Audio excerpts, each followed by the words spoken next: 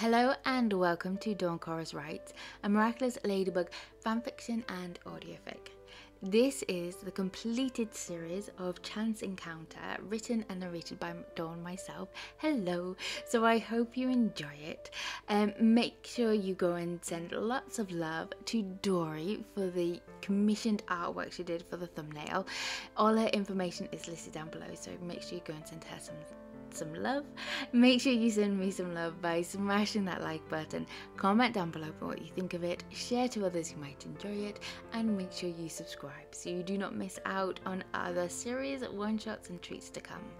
And I hope you enjoy.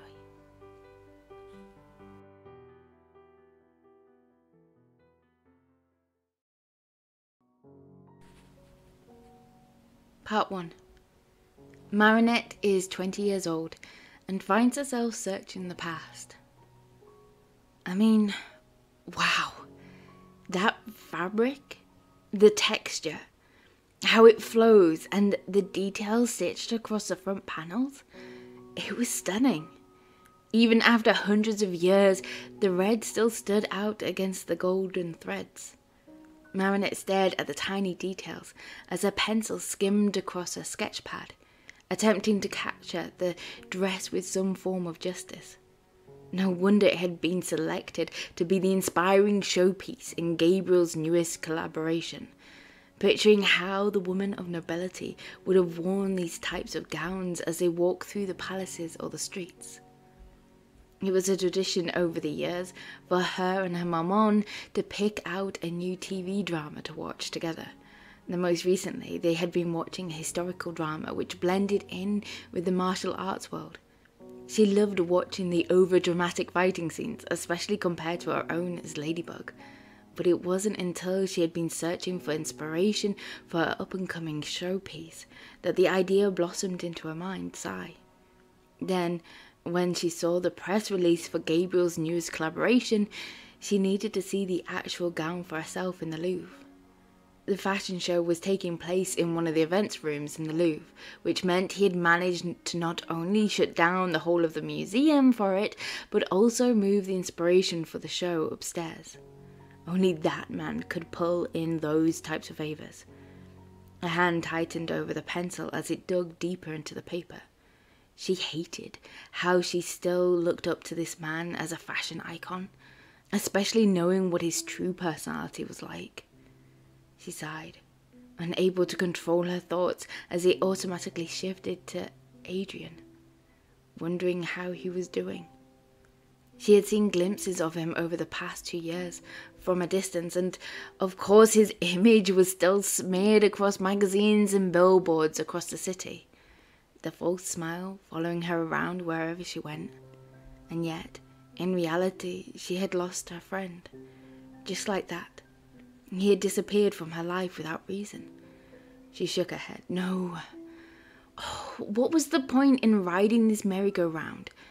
She had questioned it so many times over the years, made umpteen excuses for his unexpected cold behaviour towards her after he stood her up for their first official date, never finding out why. No, no, that path only led to heartache. She had moved on. In fact, he was behind her now. She didn't need Adrien, not when she had Kitty as Marinette, of course. The line with Ladybug couldn't be crossed, but not with Hawkmoth or whatever rebranding he'd come up with nowadays. But as Marinette gazed at the dress poised in the glass cabinet in front of her, images of her previous trip to Shanghai played out in her mind, feeling like it happened only yesterday instead of six years ago why she had thought it was a good idea to chase Adrien across the globe, sensing a deep blush darkening her cheeks. Maybe it was a good thing that her relationship with Adrien never happened. She had created this perfect image in her mind that no person could live up to, not even Adrien Agreste. No.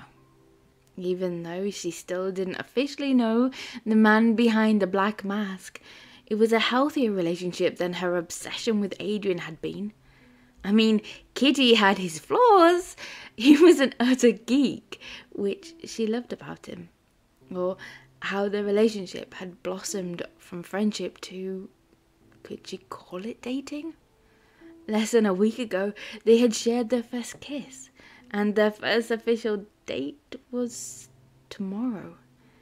Which he was totally not nervous about. Uh, this was Kitty here. He would never abandon her, not like Adrien had done. This man meant the words he said, didn't he? Okay, clearly she was getting off topic. She had come here to work, to sketch, to gain inspiration, not to travel back in time and think about a certain boy when I'm falling in love with another. No. No, she could never trust Adrien with her heart again, not any part of her life. She no longer knew him, and it's not like he wanted to be with her anyhow. No, he had made that point clear her pencil digging so hard into the paper, causing a hole and the nib to break off. She flipped the page over in a sketchbook, replacing the medium with a soft charcoal. She carefully pressed it into the thick paper, smudging the line, adding shadow to the skirt, and trying to picture it in her mind, how the fabric would flutter and ripple in movement and how she would recreate it with more modern fabrics instead of this traditional handmade silk used in this historical piece. However, after her third pause, her drifting mind refusing to focus, battling back thoughts and images of Kitty and Adrien fighting against one another, one was a prince in a grand silk robe and a tight top bun, whilst Kitty was a master in martial arts world, leaping across the rooftops, protecting the people. She found herself grinning at her recasting a certain scene in Who Rules the World. Not that a Kitty was also the prince. She groaned, rubbing her head and ended up smudging the black charcoal across her forehead. Yeah, that was clearly enough sketching for one day. She slammed her book shut and zipped up her pencil case, ramming them back inside her bag. She would clean herself up in the toilets before a stroll along the river to the bakery, hoping the light summer breeze would help to clear her thoughts, so that she was able to focus on what she needed to do. But when she emerged from the toilet and heard an explosion erupt, shaking the foundation of the museum and causing the accumulate to blast out of the speakers in the foyer as it guided everyone to the nearest safe location. She couldn't help growling through her gritted teeth. Seriously, this was the last thing she needed today. But then again, to gain a smile from Kitty might be the sunshine she needed. She filtered back through the crowd and waited in the vacant toilet cubicle. Tikki flew out of her bag and faced through the door to check they were alone. Marinette, what is making you so flustered today? Her little Kwami folded her paws across her front and stared at her with one of her special looks, the one that caused Marinette's hair on the back of her neck to stand on end as a cold sweat trickled down her back. I'm not flustered, just distracted. Marinette waved a hand through the air, dismissing the notion. If dating Cat is having this impact on you, distracting you, then maybe it's not a good idea for Marinette to be romantic with Cat and remain friends. So you can focus on Tikki. We have talked about this. Yes, I'm nervous, but if Marinette dates Cat, it won't impact on Ladybug's relationship. At the end of the day, he is my friend, my partner. But Marinette, Marinette huffed. Tikki! It's different now. We are both older. We aren't teenagers anymore. And how I feel about Kat, it's different from Adrien. I'm only looking out for you. Marinette let out a long breath, attempting to calm down the buzz surging through her, aching to fight. I know, and thank you, Tikki. She smiled as Tiki gave her cheek a little nuzzle. But can we talk about this later? I think we had better transform. Kitty might be out there dealing with his Akuma by himself. She gave a little red bug a slight pat on the head, causing a cute giggle to burst out. Tikki, spots on. Ladybug rushed out of the toilets and darted across the now empty foyer, taking in the newly formed hole in the roof where the overhanging to the escalators should have been. She whipped out her yo yo and zipped through the gap and landed on the pavement outside. Squinting at the midday sun glinting off the cracked glass pyramid in the center of the plaza, she scanned the surrounding area for anybody left behind. The alert had done its job and cleared the streets, creating an eerie silence in what normally was an over tourist spot. But where could the villain be? Where was Kat? She needed higher ground. Flying through the air, smiling at the familiar rush, she landed on the tiles and wasn't prepared for what she saw. Bouncing off the roofs a few streets away were figures dressed in black, including a piece of black fabric across their faces, bracing thin blade swords her mom had told her were called do. The same she had seen moments earlier back in the museum. They acted like a group of assassins straight out of the drama she was currently enjoying, looking like they were hunting for someone or something. Taken back, Ladybug paused for a moment. Was it a group akumatization, or if so, who was the leader? When suddenly the answer declared itself surging down the streets below, concealed in a gush of wind, it flew, gliding from one side to another flapping its long silk sleeves as if they were delicate butterfly wings. The villain came to a stop and exposed her soft silk gown in full glory. It started off as a cream color at the top, but blended into a lilac and then grey at the bottom, with a deeper lilac for a sash around her waist. Her long black hair fluttered across her face and hiding aspects of a purple mask blending around her eyes as if it was extreme makeup. If she wasn't Ladybug right this second, she would have happily gotten out a sketchbook and used this new villain as an inspiration drawing. Wait, was it a coincidence that the villain had taken on this form around the Louvre? By the look of her, she had to be linked to the fashion show. Ladybug swung out and landed in the street below, as the villain fluttered her butterfly sleeves and leapt twenty feet through the air. She was fast, too fast for just her to capture. Where was that cat? She held open, her yo-yo, and dialed his number, but there was no answer. What on earth?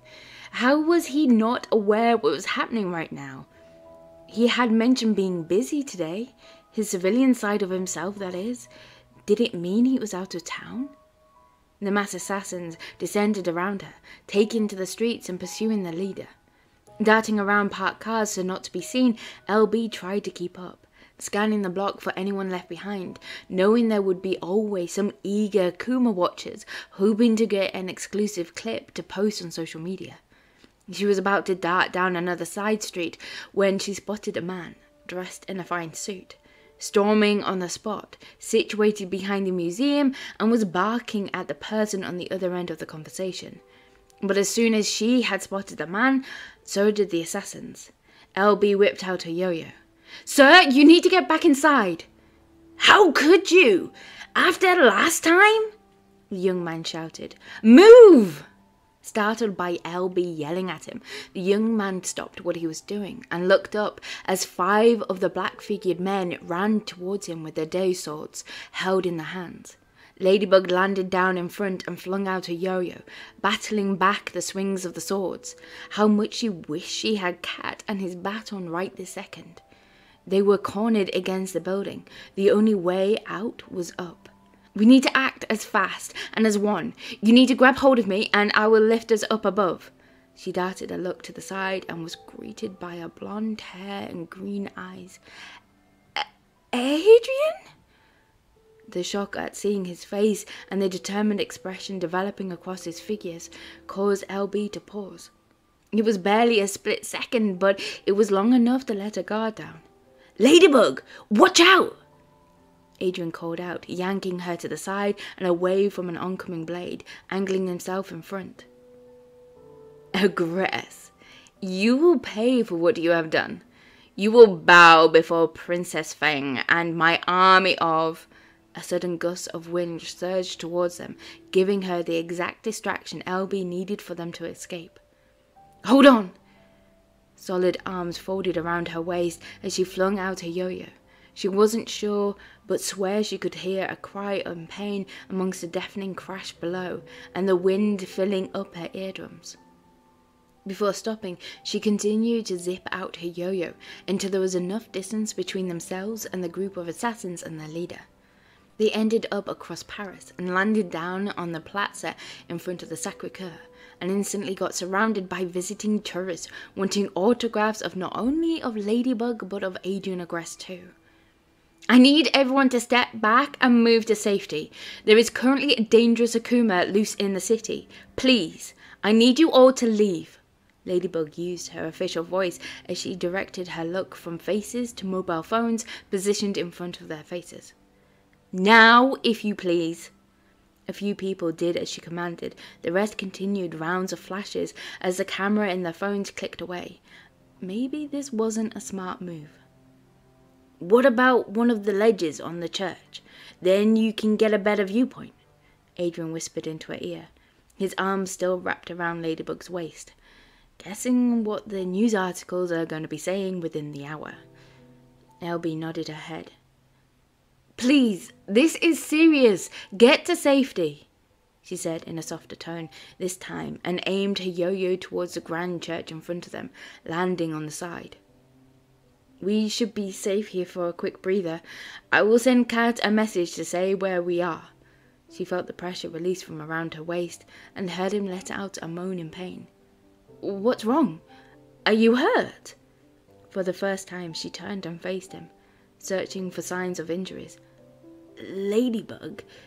There was a strange, bewildered sound to his voice as her head darted, studying his body. Where does it hurt? When was it?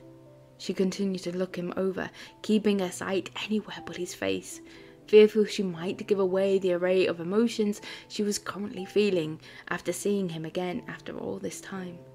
Why did it have to be today? It's my arm, but I'm fine. Adrien inhaled sharply as he held his right arm closely against his chest. It doesn't sound fine. It sounds like you're in a lot of pain. Please, let me check. After all, it's my fault. Without waiting for an answer, Ladybug carefully cradled his arm in her hands.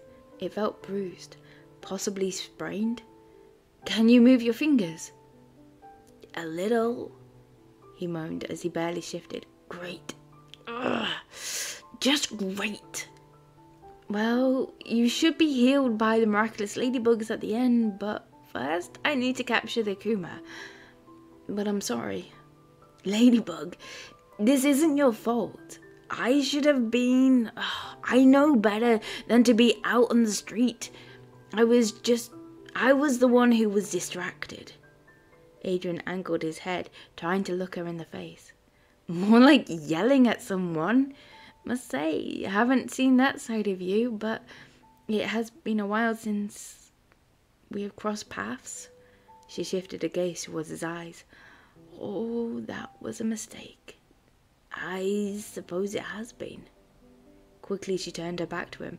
I need to wrap your arm up it like a sling. It might help with the pain and any further damage. I will be right back. Should be able to get something from Montmartre. Wait. What about this? Adrien gritted his teeth as he let go of his damaged arm so that he could pull something out of his pocket. Would this this scarf work? It's summer and you have a scarf? Ladybug laughed, turning around, but the sound became muffled as the words became lost in her mouth, unable to escape as he produced a blue scarf. Her blue scarf out of his jacket pocket. A special friend gave it to me as a gift. A friend? A special friend? Okay, LB. Take a deep breath. There was no reason why Ladybug right now would become flustered and blushing over this fact. She watched as Adrien rubbed the material between his fingers in a gentle manner. It's a long story, but the cliff notes are it was implied that it was from my father, but I later discovered it was from Marinette. Your special friend? The dismissive tone was clear in her voice, catching Adrien's attention. No, distance yourself. Stay professional. You are Ladybug and not Marinette right now. Well, like I said, it's a long story. Maybe some other time. Ladybug took the scarf out of his hand and stretched it out, double checking the length of it against Adrien, who was now more mature frame. After all, she had made it for the younger version of this man. This should work as a sling. It's strong, being knitted together.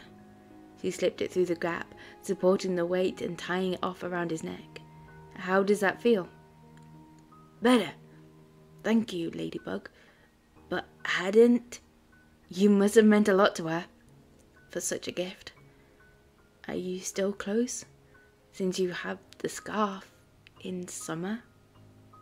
What was she doing? Now was not the time for this conversation, but then again, when would she gain another opportunity to discover the truth?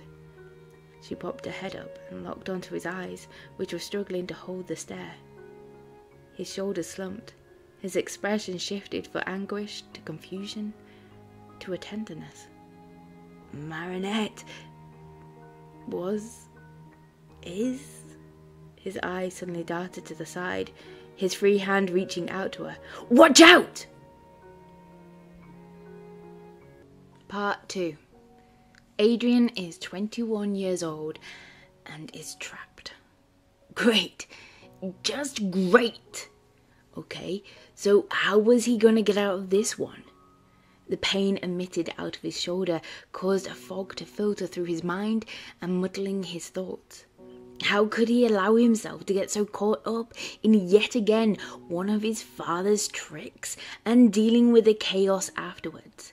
Distracted to the point that he ignored Plagg trying to gain his attention, shouting down the phone to Natalie at how his father had changed his aspects of the collaboration without informing the other artist, Miss Bay. Now his job was to mediate between the pair before the show went live in a few days. This hadn't been the arrangement he'd made with his father two years ago in aid of protecting Marinette. Now using as a carrot to dangle in front of him whenever there was a problem to be solved and needing to be the face of the brand. But then again, there was nothing he wouldn't do for Marinette. Oh, blast! This issue now was going to impact on Kat's date with her tomorrow if he couldn't get it sorted in time. No, this date had to happen. He had planned it all out, to the point he was going to confess everything to her. He loved her. However, all of that had now led to the artist being akumatized. He guessed it was her support and security team were the ones transformed into a group of assassins flying towards him and Ladybug swooping in to protect him and now he wasn't able to transform into cat. And don't get him started on how he was going to manage his damaged arm. Could this day get any worse? He tried to grit his teeth against the sharp pain around his shoulder joint and shooting bolts of lightning down his arm. Once he could convince Ladybug to hide him somewhere to allow her to fight and him to transform. Could Plagg even help with covering up this injury? How was he going to explain it to Ladybug? Well, that was only an issue he had to face once he was alone, and by the look of concern on Ladybug's face right this second, he wasn't sure when that would be. Well, you should be healed by the miraculous ladybugs at the end, but first I need to capture the Akuma. But I'm sorry. She did that expression of mixed emotions, furrowing her eyebrows in concern whilst pursing her lips together, but with a slight lift in the corner of her mouth. He wanted to reassure his partner that he will be fine. It was no big deal. None of this was on her. In fact, it was all on him. Ladybug, this isn't your fault. I should have been. I know better than to be out on the street. I was the one distracted. He angled his head, trying to look at her in the face. More like yelling at someone on the phone. Must say, I haven't seen that side of you, but it's been a while since we've crossed paths. For the first time, she shifted her gaze towards his eyes and felt the nervousness behind them. I suppose it has been. She quickly turned her back to him. Kat knew Ladybug all too well now. She was hiding something. She was avoiding something or someone. Him? I need to wrap your arm up eh, like a sling. Eh, it might help with the pain and stop any further damage. I will be right back. Should be able to get something from Montmartre. Now was not the time to scavenge through the shops. Not when he had. Wait! What about this? Ah. Adrien gritted his teeth as he let go of his damaged arm so he could pull it out of his pocket. Ah, would this scarf work? It would be fine. If any damage came to it, the tiny bugs would fix it, right? It's summer and you have a scarf? He was surprised by Ladybug's laugh, but then even more so as he watched her eyes widened at the sight of the blue scarf. It's not like Ladybug would recognize it. A special friend gave it to me as a gift. A friend. A special friend? For a moment, Adrien became lost in the memory of a younger Marinette all flustered, standing in front of him, holding out the gift box. If only he had accepted it and not let Chloe ruin things yet again. He rubbed the material between his fingers in a gentle manner. It's a long story, but the cliff notes are it was implied it was from my father, but I later discovered it was from Marinette your special friend. That tone didn't sound like Ladybug. What was making her act like this? They had fought in Akuma the other day.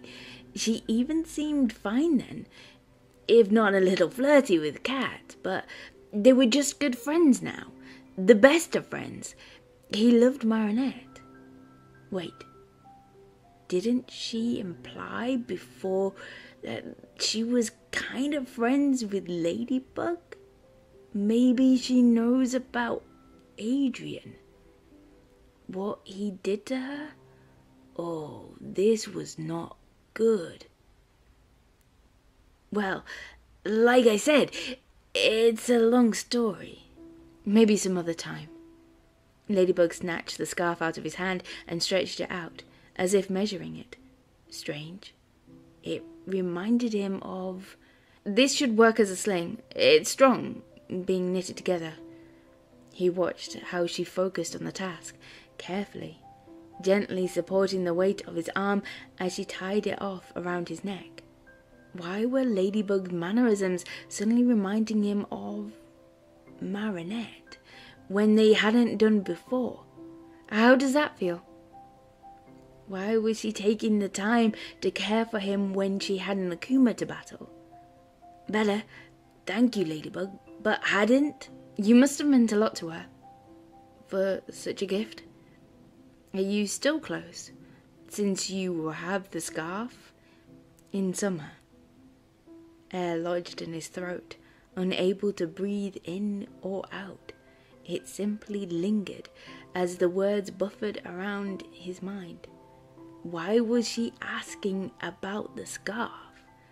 Why would it matter to her if he had a scarf in his pocket from a friend?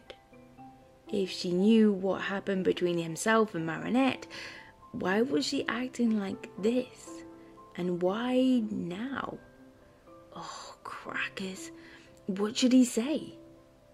He found it impossible to hold her gaze as she looked at him with a questioning ladybug stare feeling the reaction it was having on his body, feeling the need to cave in on himself. Marinette was. is. His eyes suddenly darted to the side towards the black form standing on the building opposite them, lifting his arms, stretching out. Adrien's free hand reached out to her. Watch out! he yelled, grabbing at her arm and using his body weight. He flung her out of the way from an oncoming arrow. They both slammed into the nearest dome. He cried out in pain as the impact shot through his shoulder and ricocheted out of his chest and fingers. Thanks. Her voice was soft, their faces close enough that he felt her breath on his cheek and stared at the familiar blue eyes. No, shake it off. It's Ladybug. You no longer have feelings for her. Are you all right?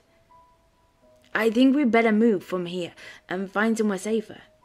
He let go of his grip around her waist and took a step back, while stood in the spot where the assassin was still perched, waiting for another opening. We need to move fast. The figure, it's still there. He glanced back at Ladybug and noticed she too was blushing slightly underneath her mask. Yeah. Okay. There's a spot nearby that Cat and I use. It's kind of unusual, but it should give us enough shelter so that you can explain to me what is happening and who has been akumatized since they were you. Ladybug pulled him in close just as another arrow zipped past his chest and smashed into the side of the dome window next to them. I need you to grip onto me as hard as you can. A rush of heat filled his face and radiated out of his cheeks. Why on earth was Ladybug yanking this form of reaction out of him? The slates gave way to air. The wind cooled his skin and his stomach lurched with the swing like motion. But he knew where they were heading St. Vincent Cemetery, on the other side of Montmartre, and back towards the city centre. They had discovered this strange spot a year ago during an Akuma fight, using it for much cover like now, and found themselves returning, sitting amongst the once legendary artists of Montmartre, with the high overhanging buildings circling around the square, rows of trees and their branches filled with fresh green leaves, providing protection for the grand tombs coated in moss and ivy but the spot they used from time to time was in the far corner, next to a family grave that seemed to be forgotten about long ago. His shoes clicked on the worn down flagstones. It was strange to hear the sound when he was used to the silence of his boots. The revelation brought a smile to his face. He was grateful Ladybug had chosen to bring them here, and felt a bizarre sense of security at the silent surroundings. Do you think we were followed? I didn't see Princess Fang and her group of assassins in pursuit. I know it's not usual to bring Adrien Agreste. She paused and looked around, pressing her lips together. We should be safe here, at least for a while, and I can figure out how to defeat her. Plus, Cat knows of this place and might find us here. She let go of Adrien and opened her yo-yo, staring at the screen as if she was expecting a phone call, like a pining teenager. Why hasn't he messaged me? He would normally reach out by now. It's not like him. She huffed, closing it shut and placing it back round her waist. He felt a blush forming on his cheeks for another reason now. How are you feeling now? Are you getting a fever? Your cheeks are flushed. Were you cut and didn't tell me about it? Without warning, Ladybug put her hand to his forehead and then laughed, pulling it away again. Sorry, it's not like I could feel it anyhow with the suit on. It's fine. It must be the pain caused it to happen. He ambled over to a nearby bench and took a seat, bewildered at what was going on between them. It was starting to feel like the past two or more years hadn't happened. So why this villain? Princess Fang and her group of assassins after you? She perched at the end of the bench as far away from him as possible. I think it's Miss Bai and her support team, and possibly her security team too. She is a designer from Shanghai who my father has been collaborating with for the past six months. However, Mr. Agreste, being Mr. Agreste, asked me to support and oversee the final show coming together, whilst at the last second changed the key piece of the design without informing the other designer until this morning. Why? I mean, why does he do it? Why does he have to make my life so difficult that only his opinion matters? I'm sick of him. I'm sick of. Ugh. Sorry. Sorry. He was standing now, holding his good arm up in the air as if pleading to a higher power for answers, his heart thumping in his chest as a tingling sensation coursed through him. It felt good to let it out like that. One of the downsides of Cat no matter how many times Ladybug or Marinette asked if he was alright when he was clearly stressed, he was never able to express himself so freely. And due to the aftermath of how he treated Marinette, there wasn't a great deal of friends he, Adrien, could lean on. Ladybug awkwardly rose to her feet, clearly shocked at by what she had witnessed, but there was a softness in her blue eyes suggesting concern for a friend. She reached out her hand in front and took a step closer. It lingered in the air before falling by her side. Don't be. It sounds like you needed to vent. I get that. But why put up with it? Have you told him how you feel? He shifted his gaze to his beloved blue scarf, the first token Marinette had given to him to express her feelings towards Adrien, her first act of selfless love, a reminder of why he was putting up with his father after he had threatened to blacklist Marinette from the design world, including her place at art college, if he didn't sever all ties with her in that instant. And he knew his father would, could be that cruel, that calculated, cold focus, working out how to get what he wanted out of the situation, knowing he had all the power. He carefully rubbed his cheek against the soft material on his shoulder, secretly smearing the single tear which had broken free. There is no use.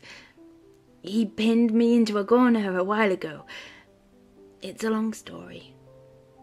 Yes, it had been good to vent to Ladybug, but the secret was still his to keep until he was able to confide in Marinette first, knowing how disappointed she will be with him, sacrificing for her, but he would do anything for her. You seem to have a lot of long stories nowadays, Adrien. I suppose it's one of the costs of not seeing each other in a while.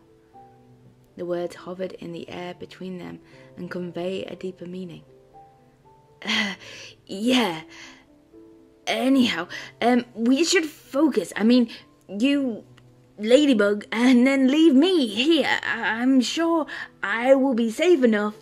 He ran his hand through his hair, wishing he could grab a moment alone to speak to Plagg in his pocket.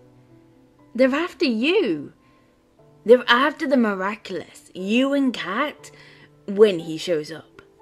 Ladybug stepped closer and narrowed her eyes at him. Adrien, you are injured. You can't take the chance if they do find you.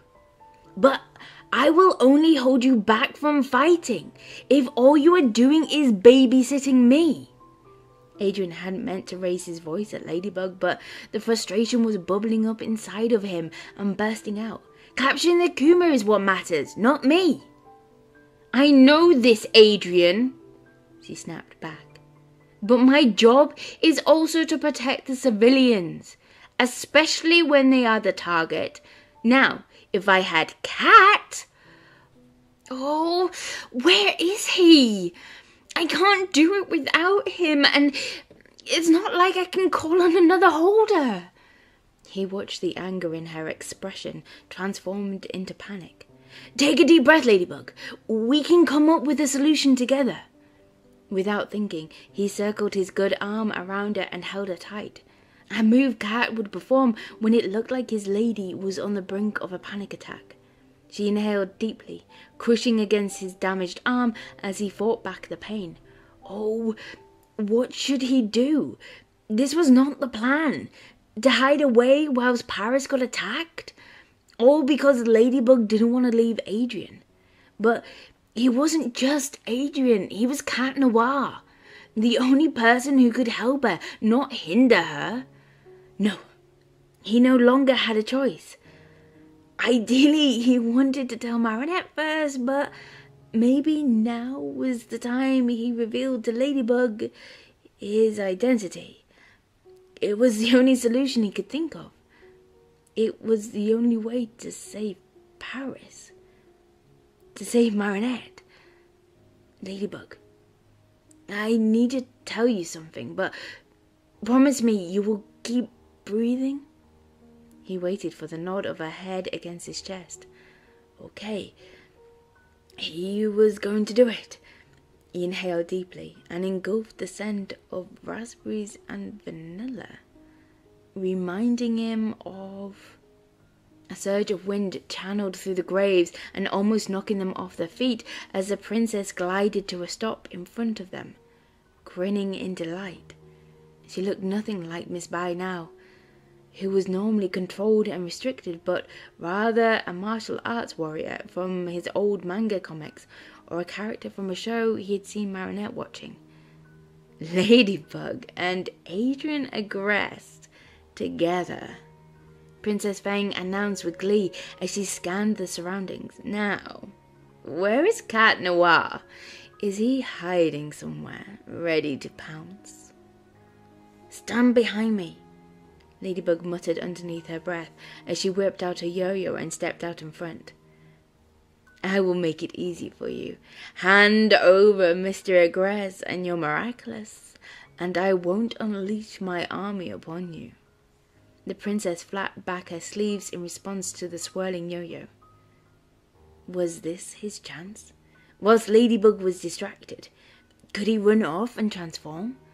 how much he wished he was holding his baton at this moment. That will never happen. You can't have Adrien nor my miraculous. But I will find where the Akuma is hidden. Ladybug glanced back at him, freezing him to the spot. Maybe it wasn't going to be so easy after all. I'm pleased to hear that.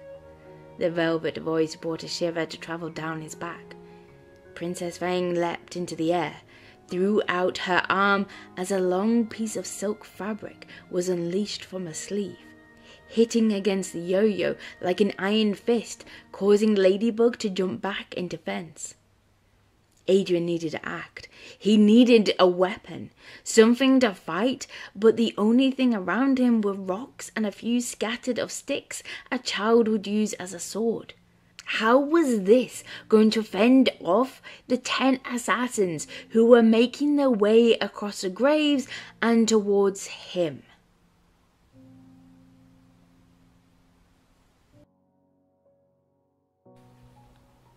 Part 3 Ladybug was wondering if this was the battle she would lose. The strip of fabric acted like it had a mind of its own. How it swirled through the air was elegant, but the impact against her yo-yo was one of the strongest she had felt. Her feet struggled to gain footing as she slid backwards, her back slamming against one of the tombs. Quickly, she rolled to the side as the fabric flew towards her again and smashed against stone, sending bullets of fragmented granite to explode through the air. One at least hit an assassin she noticed was heading towards Adrien. Another bullet smashed into the trunk of a nearby tree while she spun her yo-yo as fast as she could, blocking against two more shots. There was no let-up. While she had been distracted, Princess Fang had now twirled through the air and was heading straight toward her. There was no time to plan. She simply had to allow her body and training to react. A hand flew towards her chest, but she blocked it. Then another her feet shifting ever so slightly as if they were performing a dance. But all she knew was how to defend, not attack. Then, before she realized what was happening, the strip of fabric had wrapped itself around her waist and spun her against another tomb before landing face down in the dirt. Ladybug's body ached a little from the impact, but she had to shrug it off and allow the adrenaline to kick in. She darted her sight to the side at the sound of Adrien fighting caught her attention. This was no good. Neither of them was going to survive this. Never mind win if they remained here. Trapped. She needed to find a way out. She needed Cat. But he wasn't here. It was just her and Adrien. They needed to act like a team and put the past behind her for the present.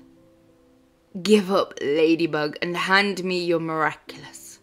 You can't save yourself and Adrien Agreste. He will pay the ultimate price for his betrayal. Princess Fang called out, flapping back her silk sleeves. A gust of wind swirled around her, the grit hitting against her face, forcing her eyes shut, but noticed the vibrations ripple through the ground and the sounds surrounding her. Blades clashing against one another, followed by the solid whack of wood. A burst shot through the earth, followed by fabric flapping in the breeze.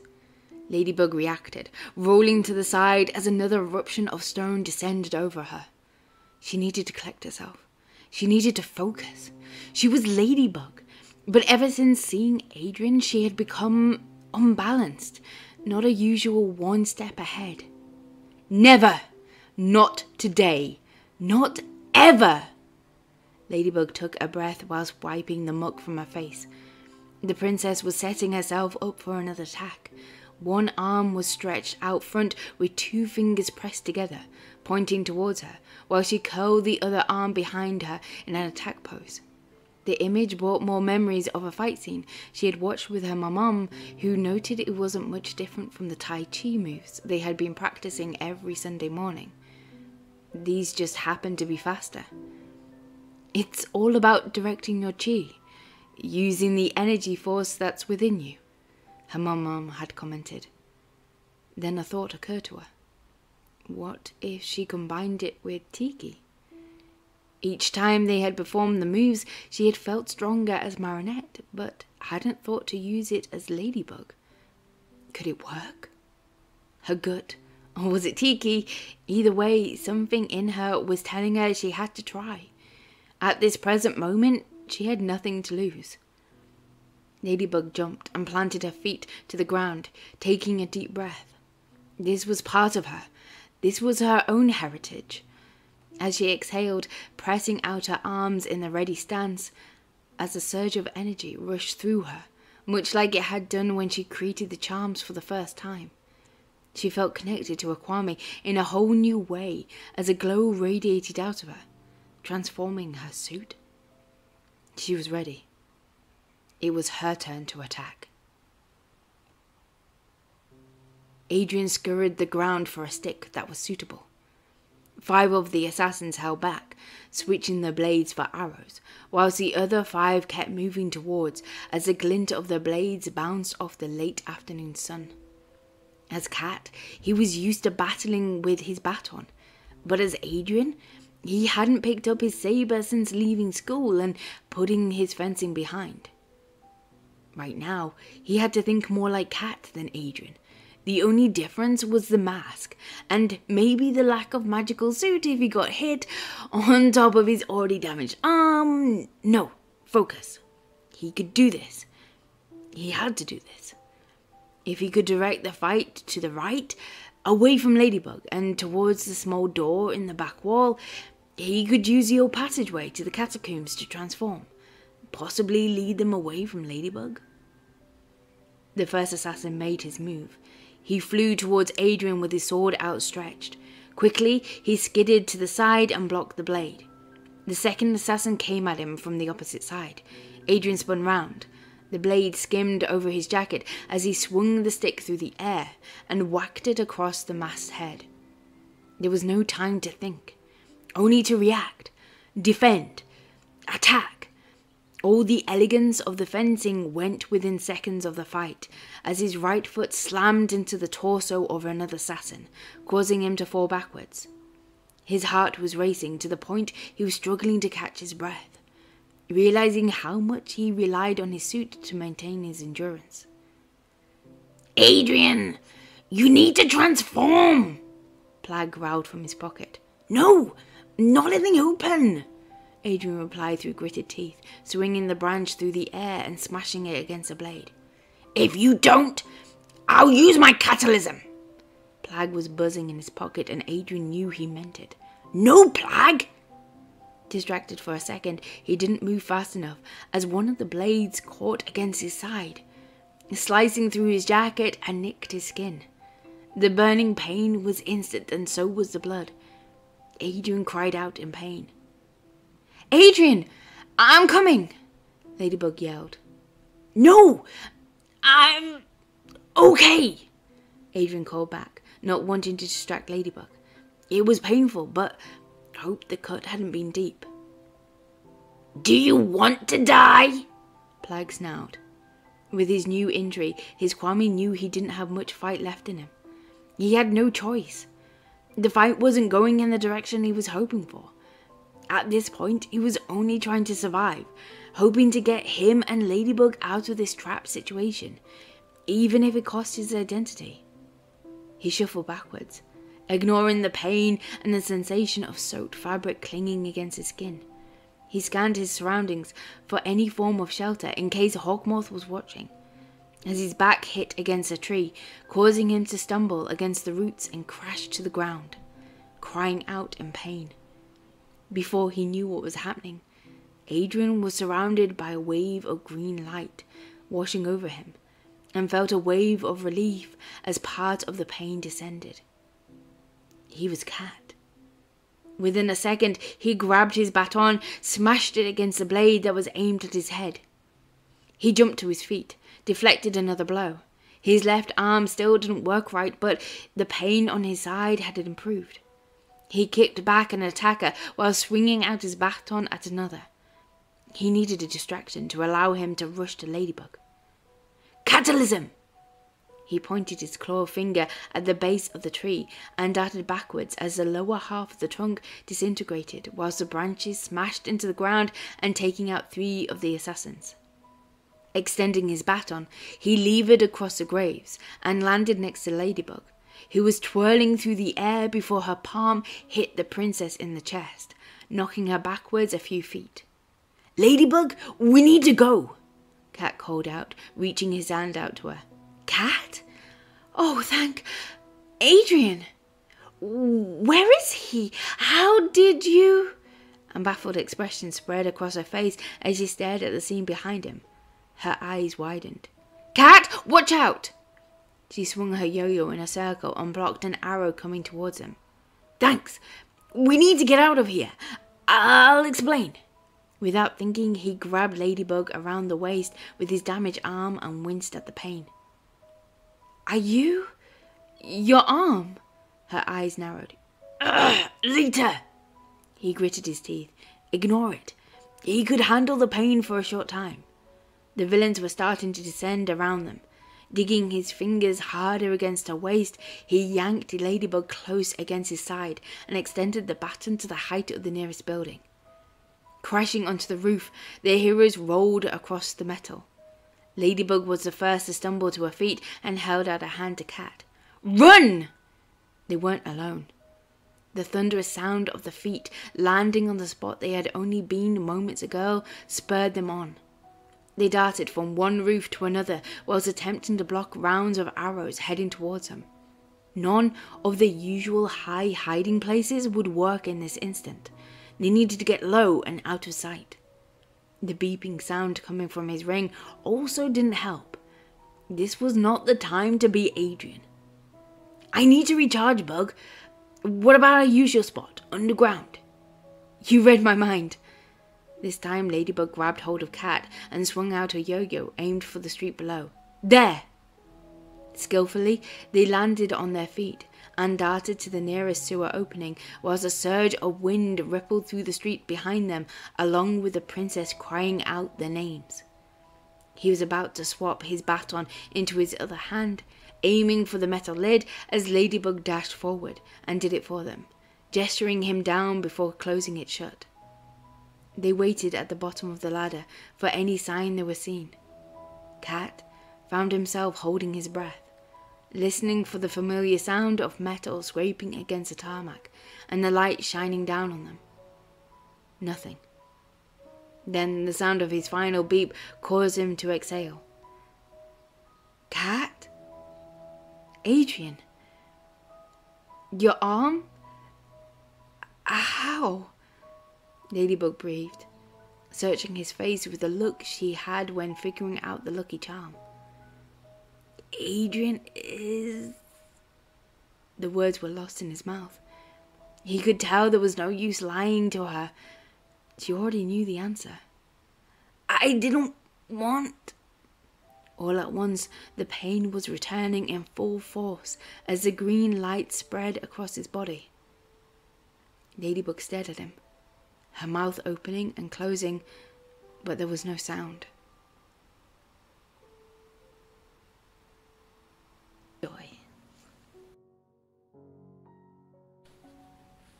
Part 4 Ladybug is trying not to freak out. Ow! How can this be? How is Cat replaced by Adrien? It's not possible. Was it?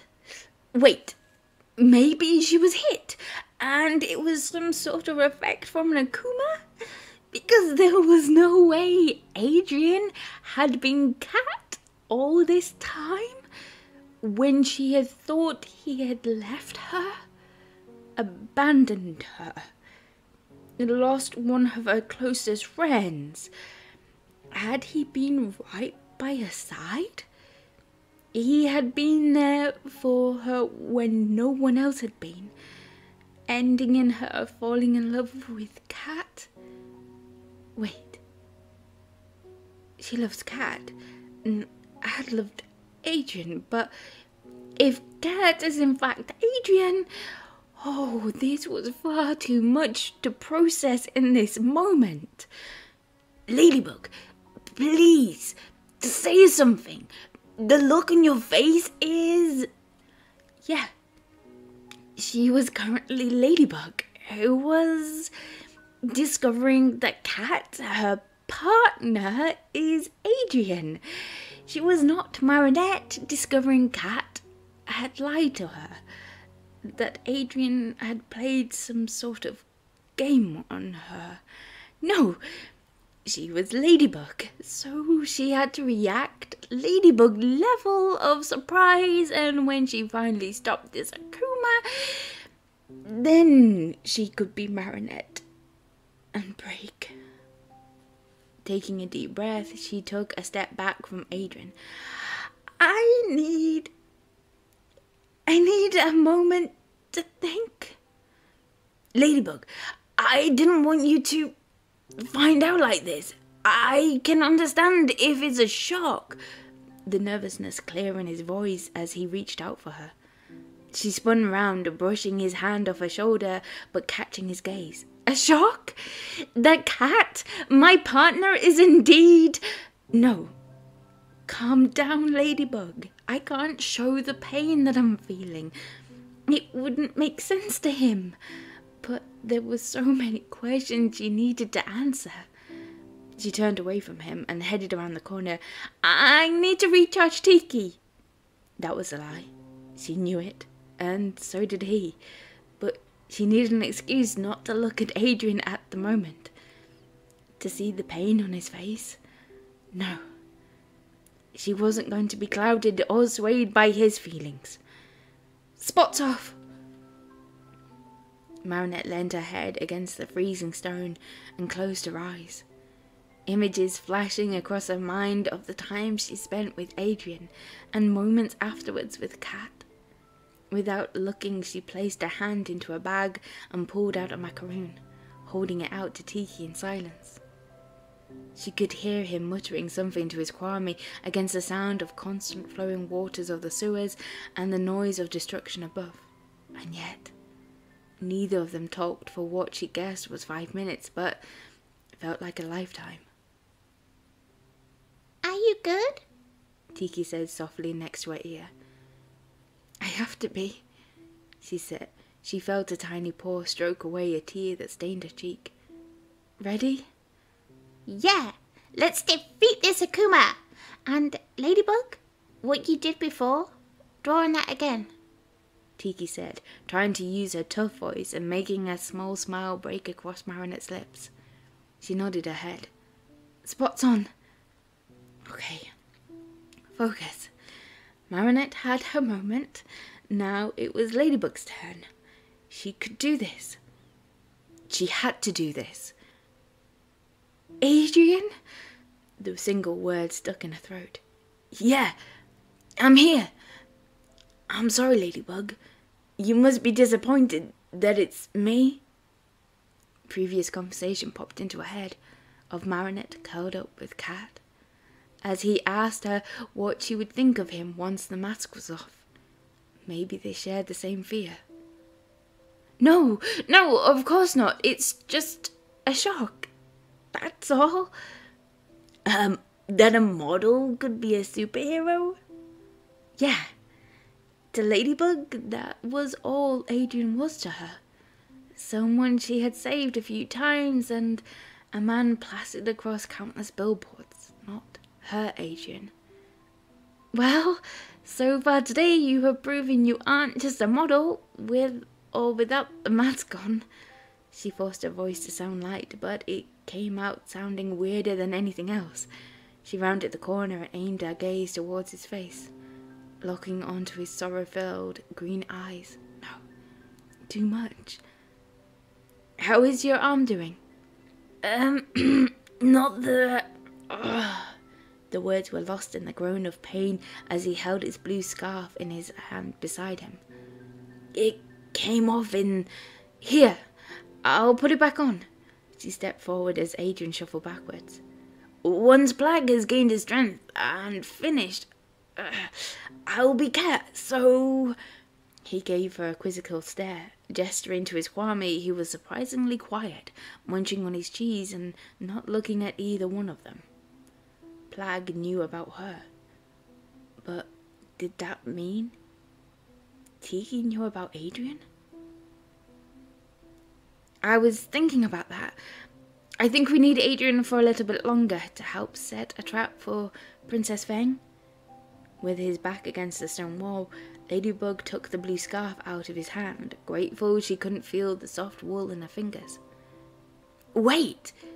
He reached out with his better arm and placed his hand on top of hers. She couldn't help but stare at his hand. The groomed to perfection nails were now covered with dirt, and blood from the scratches bedded in the palm of his hand from the stick he used to fight off the assassins. When was the last time Marinette had held his hand? Felt his skin against hers? Right now, Ladybug was the barrier when normally Catsuit was it for them. Ladybug focus. The plan. Stick to the plan. I will explain the plan. Just let me do this to support your arm in the meantime. She felt some of the pressure release from his grip and shrugged off the rest as he let out a sigh. While she moved to stand beside him, stretching out the scarf, she noticed a tear in his jacket and how the fabric was darker around it.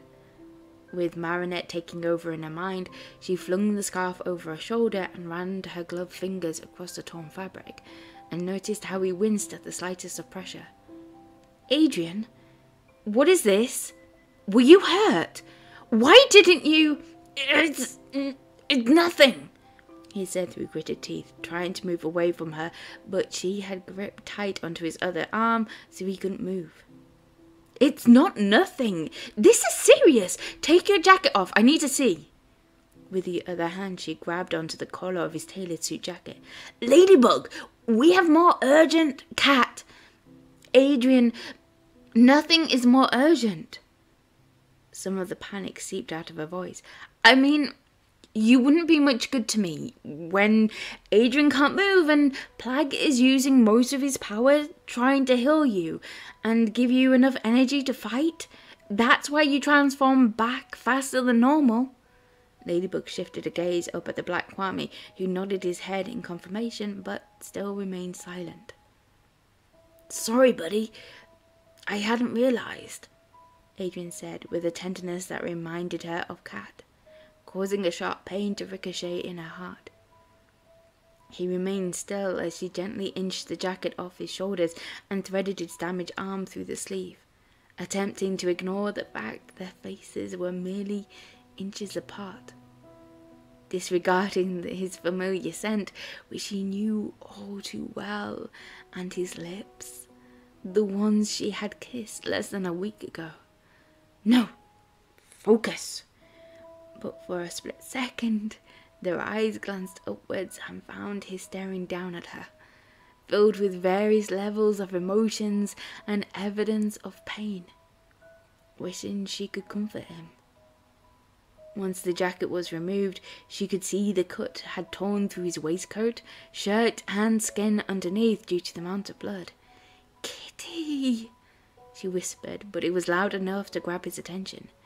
It's worse than it looks, little bug. You're bleeding. I need to stop it before. Give me a tie. She let go of him and instantly felt the void between them. Casting her gaze to the ground, she studied the small rocks against the wall and found one with a sharp edge. Sorry about your suit, but the tiny bugs should fix it afterwards. It's fine. But his words were lost in the sound of the silk lining ripping as she dug the stone in, forming a hole before yanking away from the fine stitches. She could feel his stare on her, watching her as he held out his silk scarf. As Adrien, he really did live in this luxurious world, but as Cat, he had seemed too happy to be in the simplicity of Marinette's world, watching films, cooking dinner, baking. But which one was real? Hold still. She lifted his top and exposed the gash across his waist. Adrien, this must hurt. I can't believe you were about to. Ladybug? There was a question in his voice, followed by a wince in pain, as he placed the folded scarf hard against the wound to slow the bleeding, and got his other hand to press down. Twisting the silk lining, extending the length of fabric, she wrapped her arms around him. A single gasp escaped his lips. Sorry, but I have to stop the bleeding to help Plagg, and the bugs will heal you. I need Kitty for that to happen. She regretted taking another glance at his face while she knotted the silk ends together. I could use the scarf as extra support, but I think this should hold, and your arm needs more whilst you remain Adrien. She analysed the knot one last time before folding down his shirt and covering up a makeshift first aid. How does it feel now? Better, Ladybug? Thank you. She could feel his eyes boring into her. I didn't know you had such knowledge about fabrics before. It reminds me of someone dear to me who gave me the scarf. Her eyes shot upwards and locked onto his. She hadn't meant to look at him that way, but his words had caught her off guard. Now that she knew Cat was Adrien. Did that mean he really did care about Marinette, with or without the mask on? Kept a reminder of her with him. Oh, the look on his face was the same Cat had given to Marinette, but it was now Adrien giving it to Ladybug. Did he know? No. No! She was not boarding that thought train at this present time. She had to focus and get back into the fight. Afterwards, they could. Can I have your arm? Using the excuse to tear her eyes away from his. He moved closer to her without saying a word, presenting her with the scarf with his better hand. She repeated the same moves as before, tucking the blue scarf underneath before wrapping the ends around his neck, inching her face next to his, the tickling sensation of his breath on her cheek, his lips. A loud crash sounded above them as the ceiling of the sewers shook and fragments broke off, a reminder of why they were in this position. So, what's the plan, little bug? Adrien said with cat's tone. Well, the princess Fang is after you as well as the miraculous, which I'm guessing is related to what you said earlier about Gabriel letting you down last minute. A dishonorable slight against her character which she needs to revenge? Pretty much. She must have found out before I could deliver the news, which only adds to the dishonor I've shown. A bitter anger showed in his voice, and she couldn't help herself as she placed a comforting hand just below the nape of his neck. Do you have an idea of where the Akuma could be? His eyes were searching her face, but she kept hers low. A few days ago, when I greeted her, I presented her with a gift to mark our union. It was a hairpin made up of opals and amethysts, the same one Princess Fang is wearing, so my guess is that. She removed her hand from his back and instead used it to paint images in the air, rolling her bottom lip through her teeth in thought. Okay, so if we take out Princess Fang, that will also stop the assassins. But before that, I will need you to guard me against them, whilst I get close enough to snatch a hairpin and for you to then cataclysm it. She nodded her head and walked back and forth, not aware of the smile Adrien was giving her. Ideally, we need to break her away from the assassins to have a chance.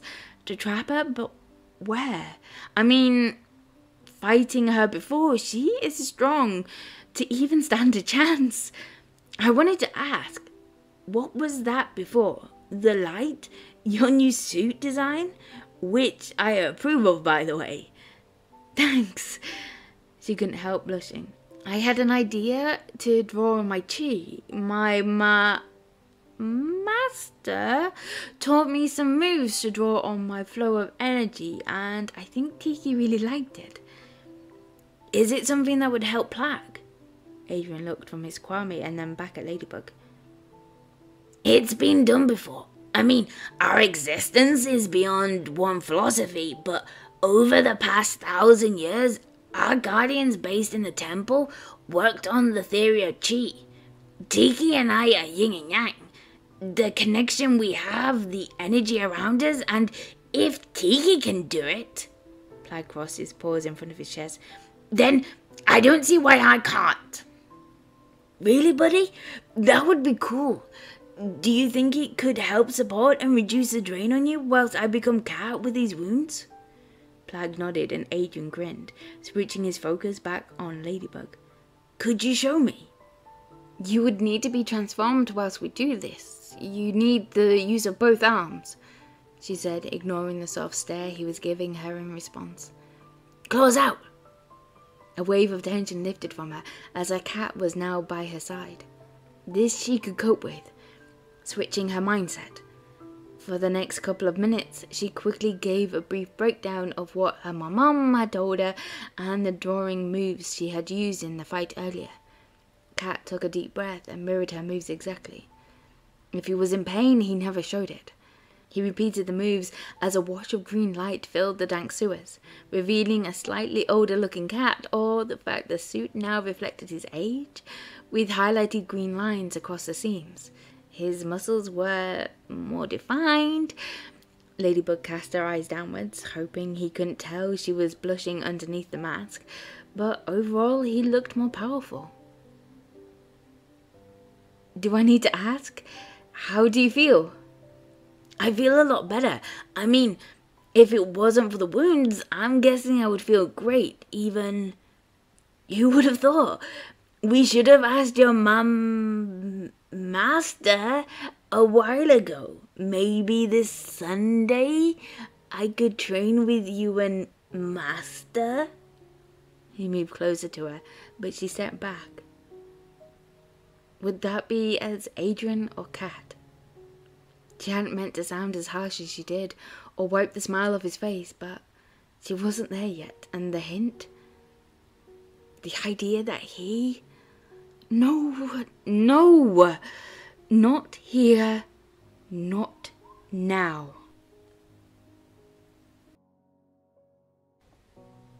Part 5 Adrien knew. He knew, she knew, but the words were yet unspoken. He watched as her emotions shifted at least four times behind her eyes at his hint his all too obvious hint that he knew. How could he not, after the countless signs that she had shown since the chance encounter? However, the biggest one was her reaction to Cat becoming Adrien. A pain Ladybug shouldn't have felt. A pain that belonged to Marinette alone. A pain that now echoed in his chest. He was in love with Marinette.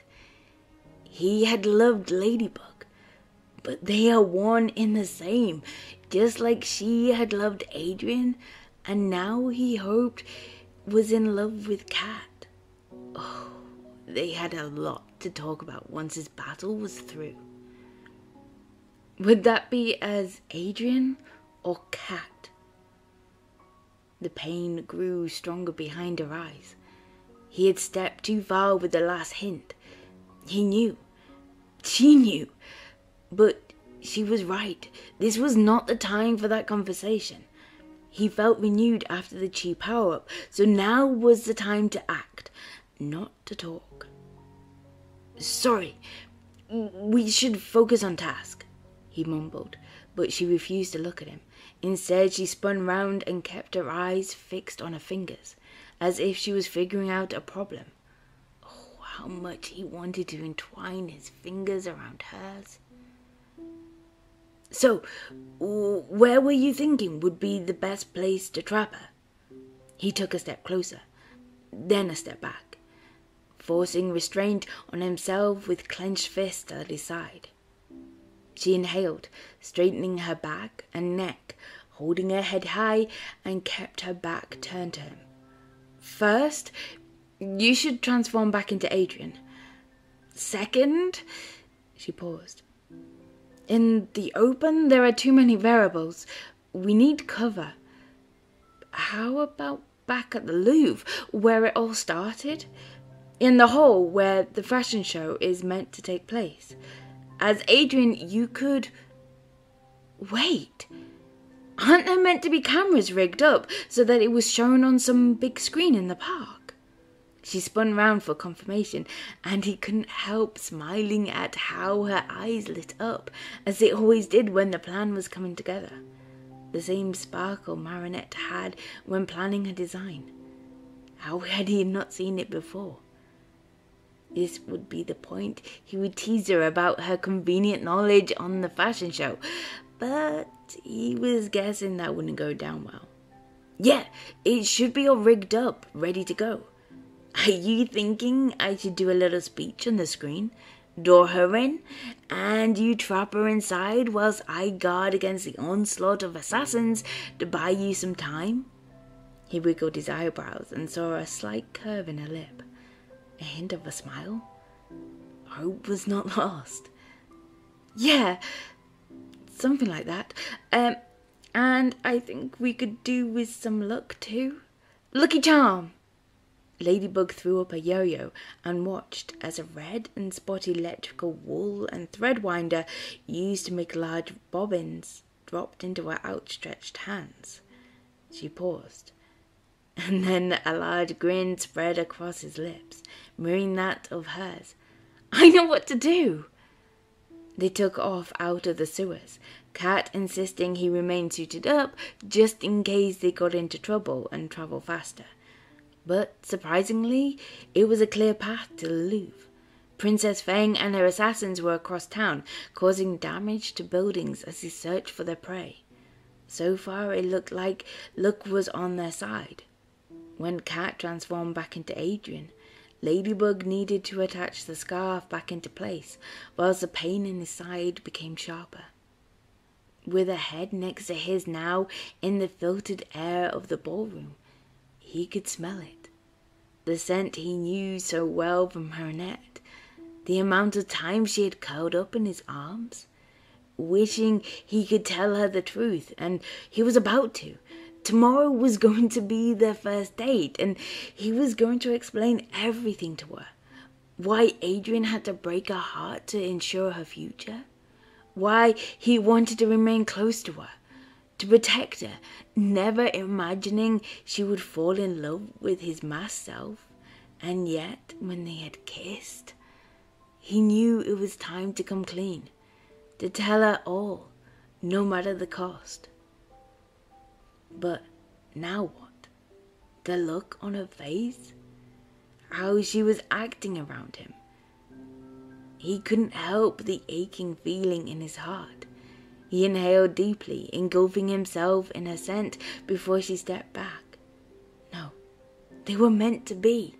Time. Time was what they needed after all this chaos. Right now, they needed to focus on winning. Everything seems like it's working. Are you ready, Adrien? Ladybug peered at him behind the camera. Adrien swept back his hair and smoothed down his filthy suit. I'm ready as I'll ever be.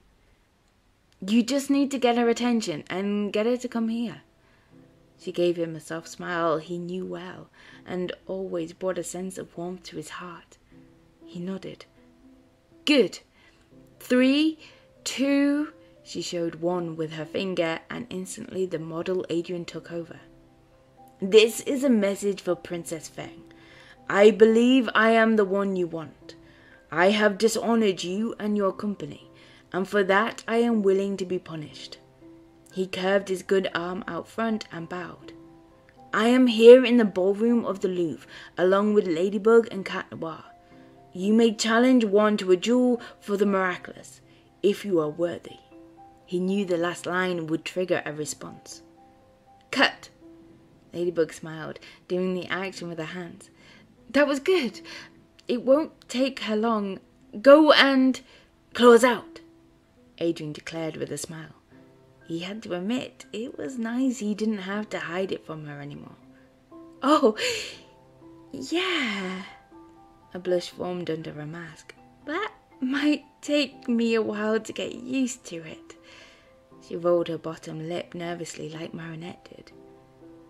Anyway, I had better get in position before she arrives, and then I'll stand guard.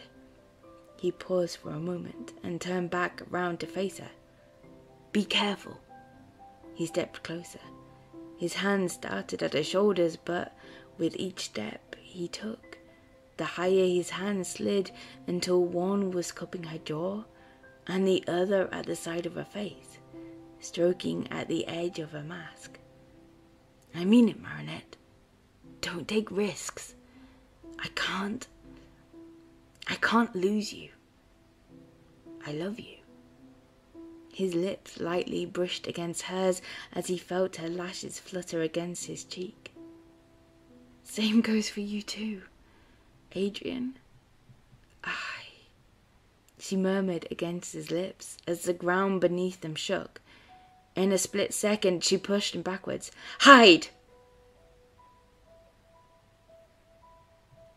Oh, half of her wanted to have a girly rant inside her head at the fact that she had just kissed Cat, knowing it was Adrien.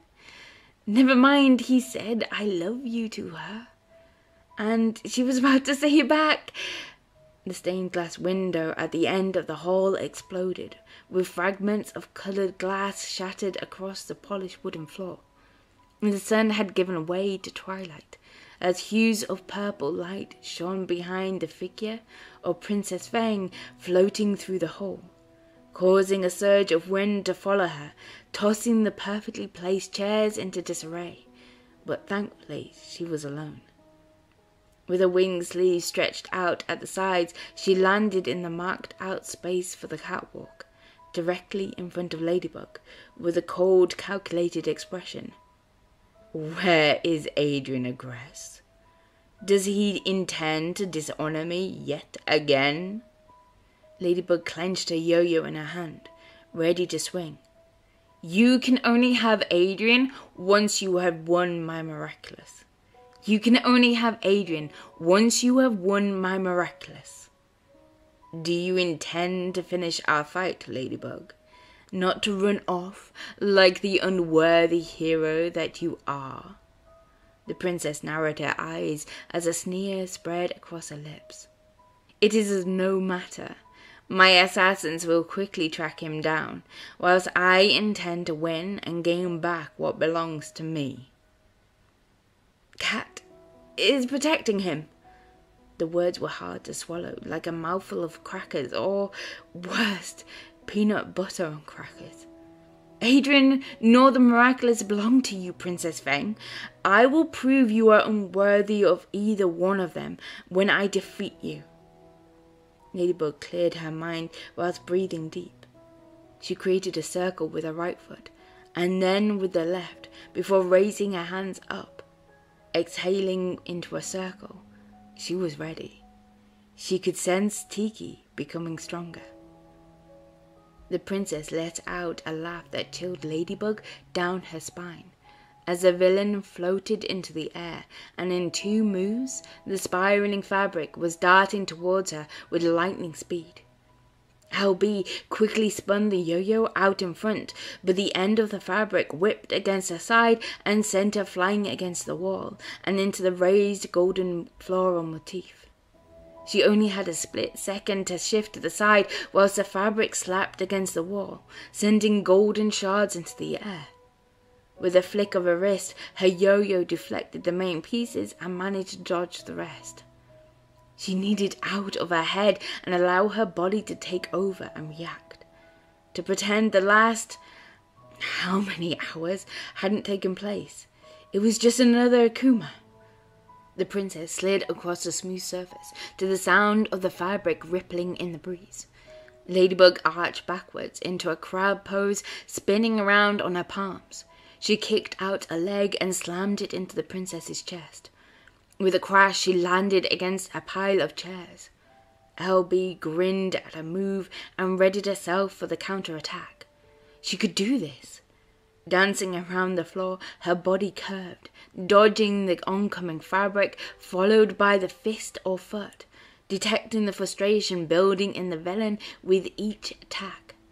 If LB timed the move just right, she could use the lucky charm.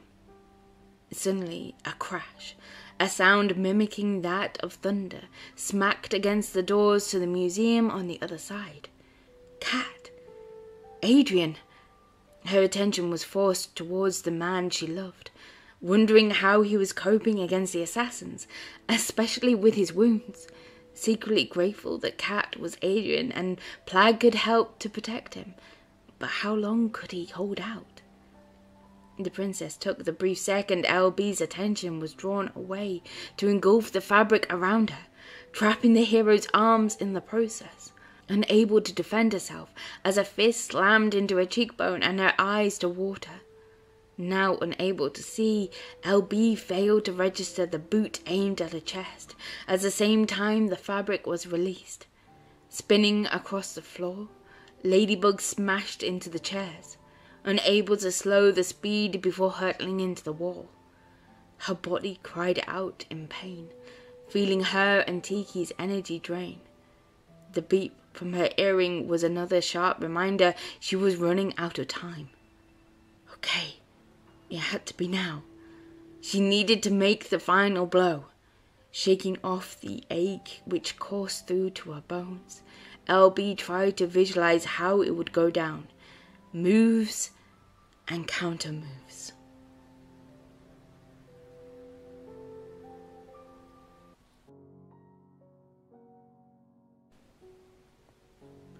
Part 6 They had everything to fight for the past, the present, and for the future where they could be together. Cat slammed the double doors shut behind him, leaving his love to fend for herself against the villain. No, remain strong, stick to the plan. His job was to distract the rest so that Ladybug had better odds. All he had to do was survive long enough for her to carry out the attack, and everything will be righted with the tiny bugs. He had done this countless of times to the point he had lost count over six years. So what? He now knew it was the love of his life fighting alone. That should matter, not when it had been her all along. Why would it be any different now? His cat ears could pick out a slight scuffle down the corridor. They were making their approach. He had watched a couple of films and seen a few manga animations where the hero had used the technique of narrowing the corridors, creating a funnel effect, in the hopes to reduce the chances of all the enemy descending on him all at once. He quickly gathered up anything he could get his paws on and stacked them against the walls, benches, antique chairs, discarding the signs not to sit on them, and as for the priceless art, well, he was grateful for the tiny bugs. Buddy, get me through this and you can have a free for all at the cheese shop. I promise. Cat said out loud, hoping it would give Plagg that extra encouragement he needed. He spun his baton in a ready stance as the light suddenly went out. A sudden laughter erupted from his chest.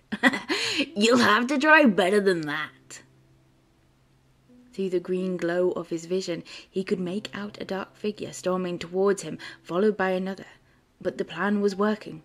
Only one could swing out his sword, whilst the other tried climbing the stacked obstacles on either side. With a one, two, three attack, the first opponent was down. Only nine more to go.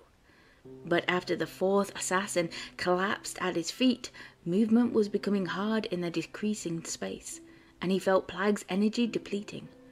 How much power was it taking his Kwami to support his injuries? He took a deep breath and swung out his baton against two swords aiming towards him. The force had taken him by surprise as he smashed into the side, causing some of the stacked objects to thunder towards his two opponents as he tried climbing back onto his feet and wincing at the searing pain in his side. This was not a good sign. He readied himself for the next attack as he heard a heart stopping crash on the other side of the doors. Ladybug! No. Remain strong. Remain focused. She was Ladybug. She could do this, and he still had his part to play. If he should fail now, how could she cope with the assassins on top of the villains? No, he had to believe that it won't be long now. He could wait for the signal before he charged in. Ladybug scrambled to her feet. Her head was spinning from the punch, followed by slamming into the wall. But she had a plan, and it was time to act. Give up, Ladybug. You are clearly too weak to beat me. Hand me your miraculous and tell me where Adrien Agreste is hiding, and all of this will stop. Never, Princess Fang. Hawkmoth will never get our miraculous, and I will never let you anywhere near Adrien. Ladybug took the opportunity of distracting to pull out the lucky charm. As she had guessed, the villain took the bait and swung out the piece of fabric, but this time Ladybug was ready. As the cloth spiraled towards her, she aimed the device and caught it in the spinning stakes. Ladybug planted her feet as the princess attempted to yank back the cloth. But the more she did, the more it wrapped round, causing a tug of war between the two of them. In a sudden flake of the villain's wrist, Ladybug lost her balance and flew against the wall, her gloved fingers pressing tight onto the device. Before she had a chance to scramble to her feet, she screamed, Cat, now! hoping her voice would carry above the noise. Within seconds, the doors at the back of the room smashed open and saw five black figures dart into the room, including her kitty.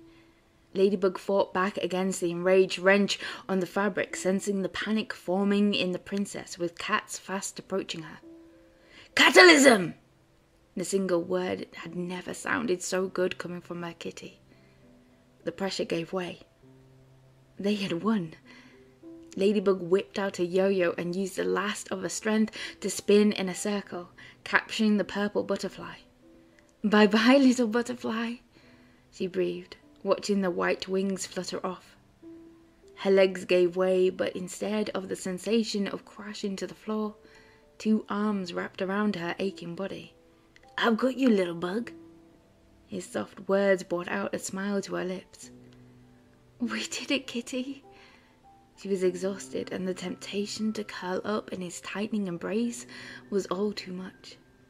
She opened her eyes and was greeted with his piercing down at her. For the first time, she saw it. She saw him, Adrien, staring back at her behind the black mask with a dozen of emotions brewing up at the surface. I need to release the tiny bugs, but do you want to leave before Princess here transforms back into Miss Bai? He let out a sigh. Oh, I think I better had.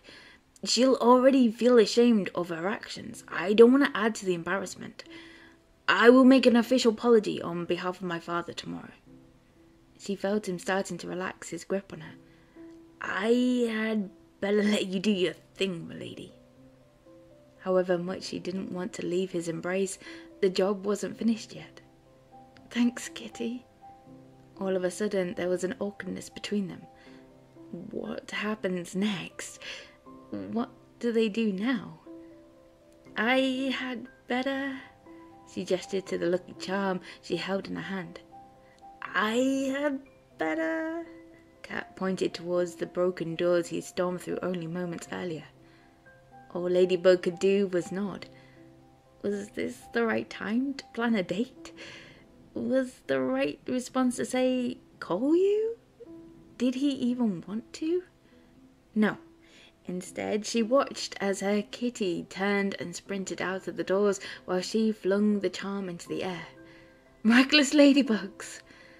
A burst of rosy pink light engulfed the room as a swarm of tiny bugs wrapped around her and removed the physical pain. Princess Fang transformed into a puzzled looking woman with the rest of her team jumping to her aid. Miss Bai, I'm Ladybug.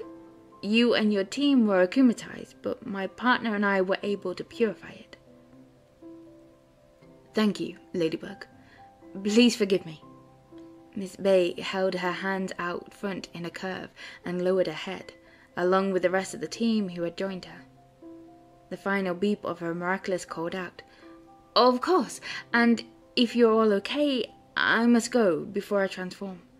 Ladybug turned and then quickly spun back around. Adrien Agreste sends his apologies, but will do so formally tomorrow, allowing you time to recover. Miss Bai nodded her head in agreement. Thank you, Ladybug and your partner. She repeated the same formal bow before racing towards the exit and the nearest room she could find. She shut the door behind her as the flash of red descended over her body. Tikki? Here. With one hand, Marinette caught her Kwami, and with the other pulled out a macaroon from her purse. Her legs buckled as her back slid down the door and collapsing to the ground. She could sleep for a week. I have an extra cookie in my purse once you have finished this one.